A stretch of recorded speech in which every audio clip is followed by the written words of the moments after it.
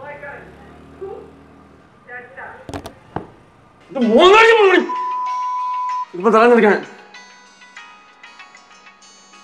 ഇയാളെന്താ ഇപ്പൊ വിളിക്കുന്നേ. ഹലോ? ചേട്ടാ വേണ്ട കേട്ടോ പണി കിട്ടും.